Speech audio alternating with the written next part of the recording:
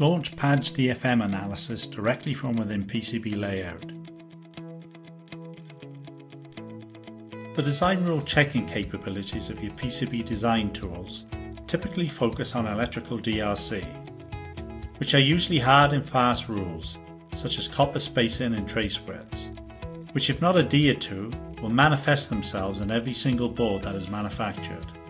DFM analysis on the other hand employs specific rules such as acid traps, starved thermal connections, copper or solder mask slivers that focus on maximizing yield and reducing the fabrication costs. And these rules are also very dependent on your fabricator's process and tolerances.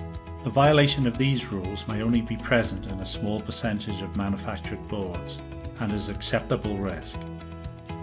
The solution is to run those same fabrication and manufacturing rule checks as an integral part of your PCB layout.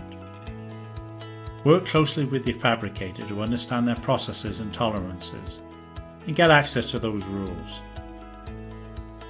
At any time during placement and routing, run all or just a subset of those rules. Make it a part of your design process, not just a manufacturing sign-off step. With PADS DFM analysis in your flow, you can take control of your design, perform fabrication and assembly rule checking before you hand off to manufacturing, minimize production issues, achieve fewer revision spins per design, and save time in your product release schedule while also increasing quality.